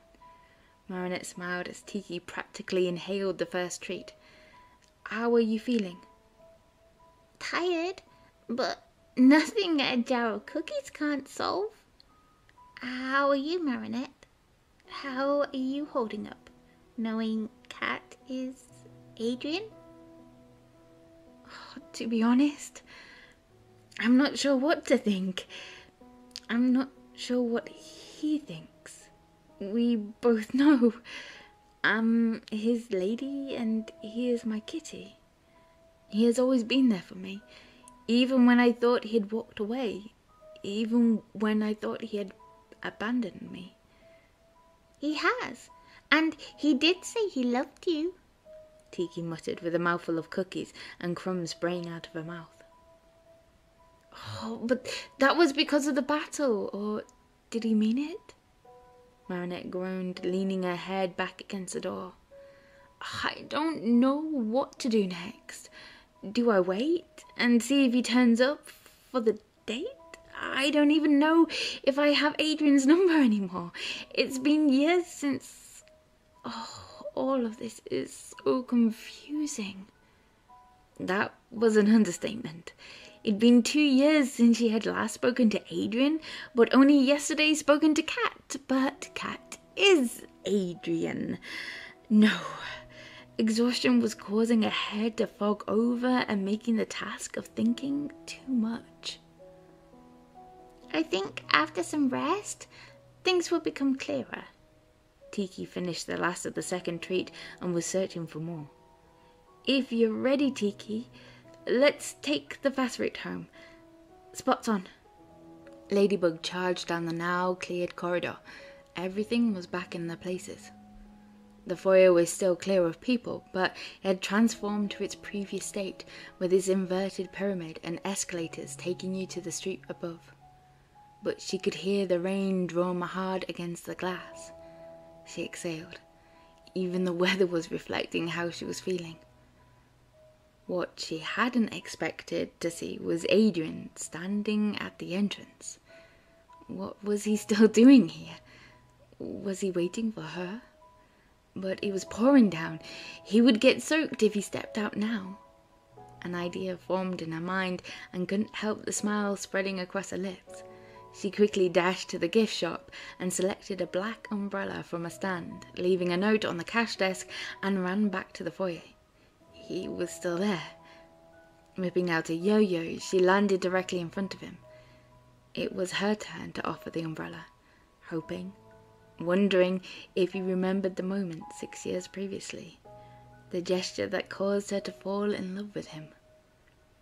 He had stepped out into the rain, glancing around with a sad expression. Her heart ached, watching the water soak into his jacket and how it dripped off his hair and face. As she splashed down, he turned and faced her with a questioning look. She opened up the umbrella and held it out to him. Here, thought you might need this.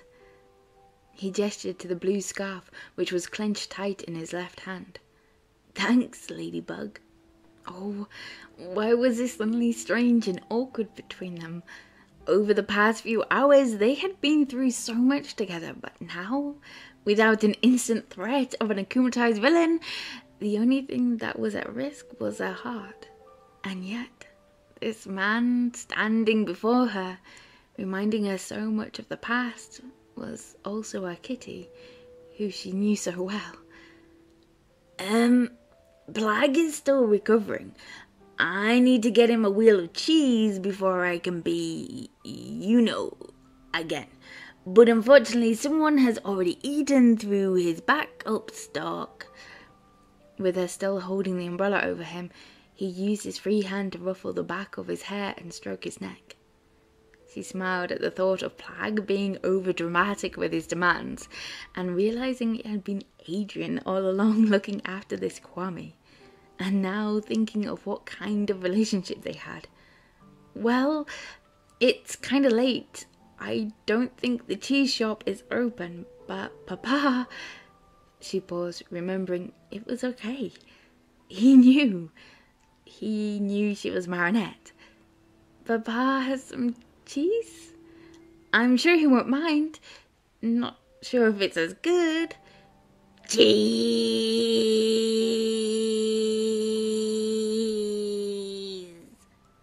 She heard a groan coming from Adrien's chest.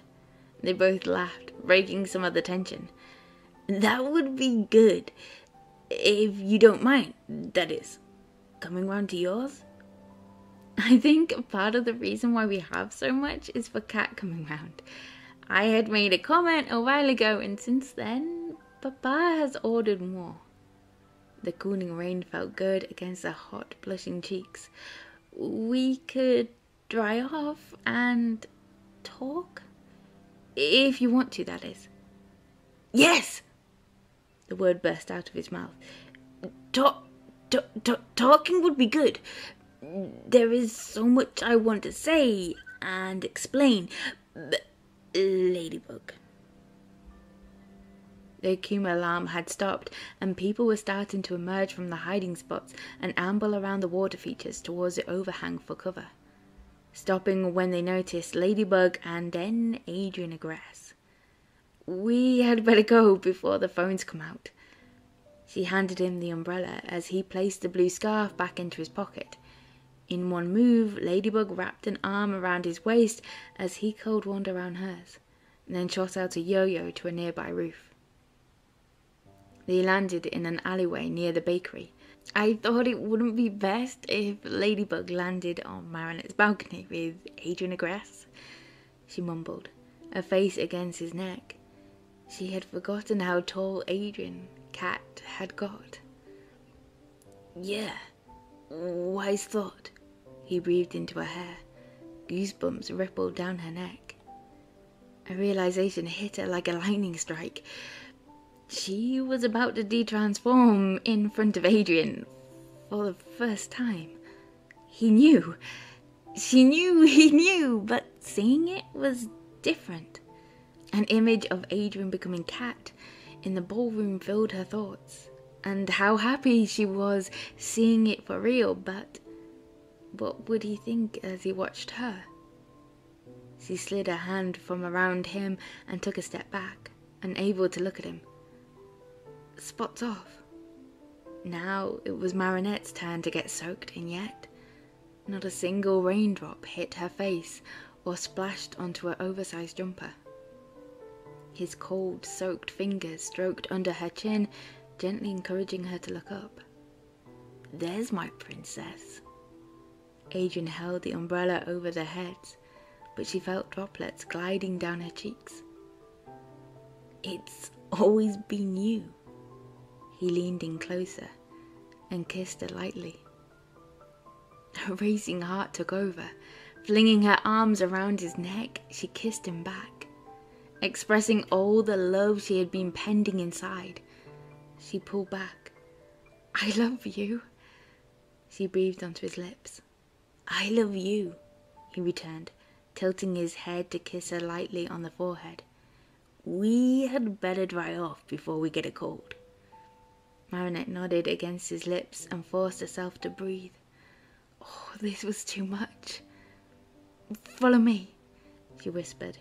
Her hand moved from his neck to his hand. They dashed over to the blue side door, grateful it was unlocked. Marinette, is that you back? Sabine's voice called through from the bakery. Yes, mum, I'm fine. Got caught out during the Akuma, Marinette called back, noticing a mischievous grin form across Adrien's face, reminding her of Cat. She tried to give him one of her warning looks not to make a sound, but the grin only broadened. I'm going to dry off from the rain. Very good, darling, and welcome back, Adrien. Both of their eyes widened at her mother's words, guessing they had been spotted. Thank you, Mrs. Dupain-Cheng. Adrien chuckled back whilst Marinette yanked him up the stairs. Once they were in her room, she let go of his hand and made her way over to the cupboard, pulling out three towels. If you hand me your suit jacket, I'll hang it up, she offered, with her outstretched empty hand, exchanging it for a towel. It's a bit strange, isn't it? Not used to she gave an embarrassed smile as he struggled to remove the clinging fabric from his damp shirt. There is a lot to be said for magical suits, Adrien said with a nervous tone and handed her the dripping jacket. Thank you.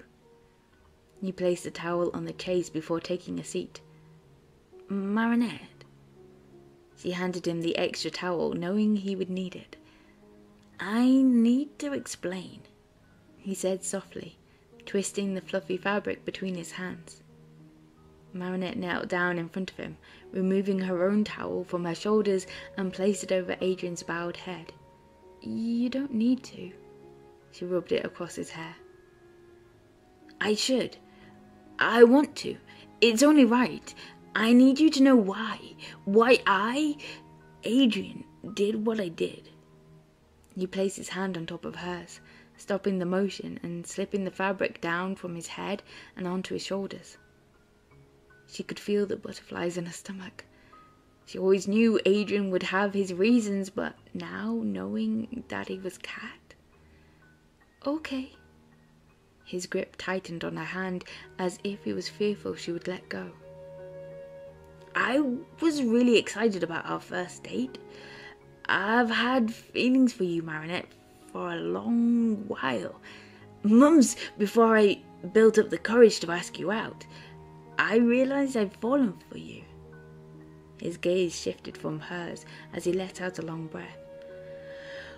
But when father found out that it was in fact you I wanted to date, who I had feelings for, he refused. Well, he did more than refuse. There was an anger there that I'd only seen a few times, declaring it wasn't in the plan for me to be dating you, even saying it would destroy everything he'd been building towards. Um, I that bad? she breathed, her heart cracking under the shame of what Adrien's family thought of her. No, never! His eyes shot up and locked onto hers. I love you. I don't care what my father thinks or says. I told him that, which is when he told me. His forehead felt heavy against hers. Ah, he said he heard you had been accepted into the fashion design program, that you desire to be a designer one day. But with one word, he could take it all away unless I agreed to stop and walk away. I knew it was what you always wanted to do. Your love for it? She tried to pull back, but he wouldn't let her. I couldn't take that away from you, Marinette. That wasn't your choice to make, Adrien, she snapped. He loosened his grip, and she was able to free herself from his hold. You should have told me. You should have given me the choice. Unless. What? Unless what? Unless you didn't want to. It was two years ago. Things were different. We were younger. We know each other better now. Well, I know Cat. I am Cat. I am Adrien. We are the same. We. The time we spent together would have been the same even without the mask. So, is that it? For you, it didn't matter. Just show up as Cat and you get to spend time with me, Marinette. Whilst for me, I was rejected by Adrien. I was abandoned by a friend. Do you know how much teasing, bullying I went through by Chloe and Lila? She glared at him and then she realized. You do or should I say, cat, did. I told him what I was going through. I cried on his shoulder whilst Adrien ignored me at school and pretended like nothing happened between us. Do you know how hard that was for me, too? To watch you go through that every day, knowing I was the one to cause that pain and the only way I could comfort you was to be Cat? He was now standing up beside her, trying to grip onto her shoulders but failing as she shrugged it off. It broke my heart to do that to you, Marinette. More than you could ever know. But if I had told you, would you have agreed or risk losing everything you have achieved for me? I don't know. I don't know what I would have done, but you should have given me the choice, Adrien. Or at least I would have understood why. She leant her head against the wooden post, trying to hold herself up and not crumble. I'm sorry, Marinette. The pressure from his gentle touch in the middle of her back caused the dam to break inside of her. I should have said something at the time. You're right. And you might not believe me, but tomorrow, on that date, I was planning to reveal all to you. His words took her by surprise, and part of her that was ladybug sprang forth. He jumped back at her narrowing eyes. Reveal everything? You mean you, cat, were planning to tell me your identity? everything. Yeah. He paused and then straightened himself. Yeah, I was. I love you, and I didn't want to make the same mistake twice. Start a relationship with you and not tell you? She rubbed her palm against her forehead, smoothing back her hair. And what about Ladybug? Were you planning to give her a heads up of your plan? I was going to run it past Ladybug.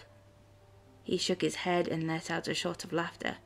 Uh, you, tonight, on patrol, either one of you could have said no to finding out. But here we are, anyhow. He stepped closer and pressed his hands on her shoulders, which were now up at her ears. What a tangled mess we have found ourselves in, Princess. he said in a soft tone. Her head dropped, chin on chest, as a crown slammed into his chest. She groaned. I think that's an understatement. She felt herself melting as he wrapped his arms around her waist, drawing her in closer as he rested his chin on her hair. She could feel his heart racing through her touch. Oh, Adrien. I don't know what to think. I have been in love with both sides of you for the past six years. She closed her eyes as his lips kissed her hair. And even though our history has been messy in parts, you have always been there for me. She took in a sharp intake of breath as her emotions threatened to get the better of her. Their heads moved in a dance, hers upwards as his cheek glided down hers until their eyes met and their lips touched. Six years we have been in each other's hearts always there for one another, with or without the mask. But I'm so sorry, my love. Please forgive me. He breathed. A hand slid from his chest to his cheeks. To think how I have behaved in the past, as Ladybug, as Marinette, even. I'm not so innocent myself. I forgive you. And please forgive me too. Always. The words were lost into the kiss. Wrapped into his arms, they sat side by side on the chase. But what do we do going forward, Adrien? How is your father going to react to us being together now? Because the last thing I want to do is come between you and your family. As long as I have you beside me, that's all that matters. My father can threaten me all he wants, but I will not stand by any longer and allow him to threaten or use you as leverage anymore. However, like I should have done two years ago, I leave the choice up to you. As long as you promise, I don't lose you. Never. You Adrien or Cat, you will never lose me. I love you. And you're part of this family now, no matter what. But right now, is it okay if we remain in this moment?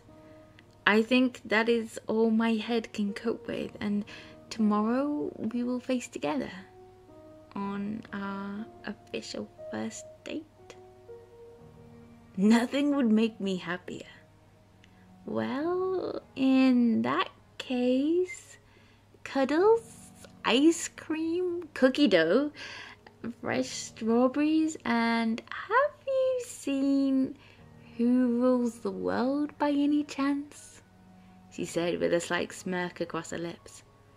Adrien stood, letting out a chuckle, and held out a hand for hers. you had me at cuddles. Thank you for listening to the final part of Chance Encounter. I hope you enjoyed it. I hope you enjoyed the whole series. Um, makes if you did, make sure you smash that like button, please. It really does help to send the love and support this channel. Make sure you comment down below what you thought of the final part. Is it what you expected or not? And make sure you subscribe if you haven't already. You've survived a whole series. Why not? subscribe and listen to the rest that I've got on the channel of more one shots and series. And I hope you are good, and I'll speak to you soon. Bye.